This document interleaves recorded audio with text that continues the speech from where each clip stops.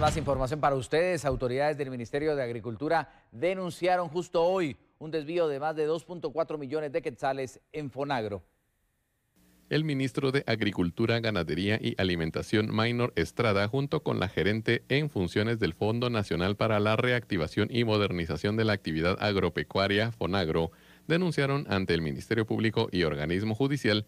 el posible desvío de un monto de 2.4 millones de quetzales que eran parte de un proyecto que consistía en un crédito al fortalecimiento de la producción de ganado ovino que buscaba beneficiar a 99 personas de Totonecapán.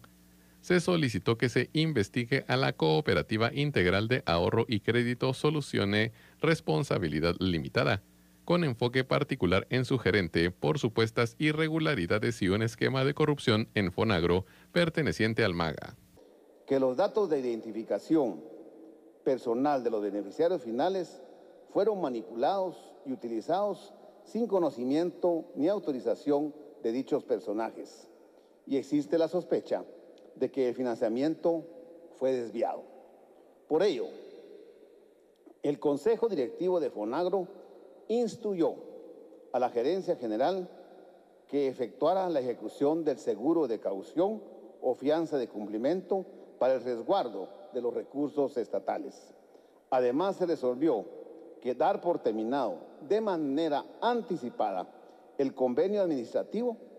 que como les explicaba anteriormente, terminaba en abril 2025, sin responsabilidad para el MAGA, y se presentó la denuncia ante el organismo judicial. La investigación preliminar reveló irregularidades tras la verificación de datos en 13 de las 23 municipalidades seleccionadas. Se encontró a 37 personas registradas como beneficiarias del proyecto, sin embargo, de estas solamente 8 recibieron fondos y no la cantidad estipulada de 21.577 quetzales, siendo lo entregado mucho menor a esa cantidad. De parte de la comisión, pues corresponde